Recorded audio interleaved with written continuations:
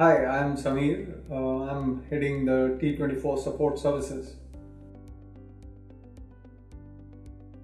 Uh, just wanted to tell the sort of challenges that our clients face. In our experience, what we have found is that uh, the test environments get neglected.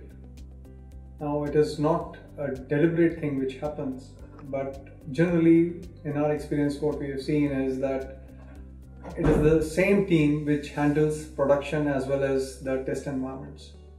Whenever this happens, the production obviously takes priority and test environments get a short shift. We have seen that this has led to delays in testing and hence time to market.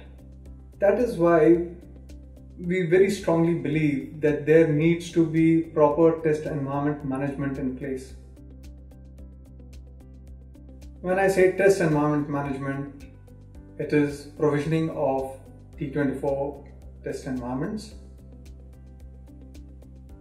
It is also T24 pack or product deployment, fixes, any changes being deployed and also COB execution on test environments.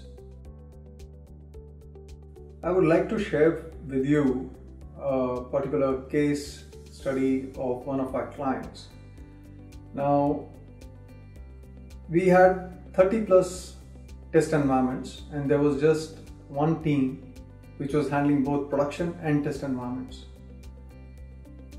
The result? There was more than 20% downtime on environments due to COB and delayed deployments on test environments.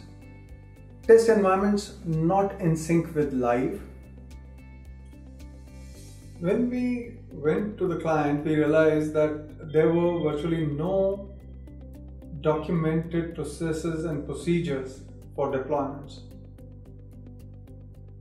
So the very first thing that we did was that we set up the processes around deployment after engaging with the various stakeholders. Set up SLAs and started deploying, meeting those SLAs. This was also helped by developing an automation tool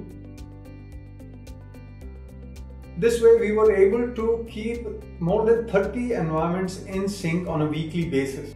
Similarly, we have been helping other clients as well in their T24 lifecycle, starting from T24 environment provisioning, deployments, COB execution,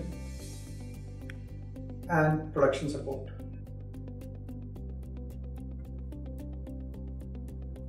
In every engagement, we bring our service value adds.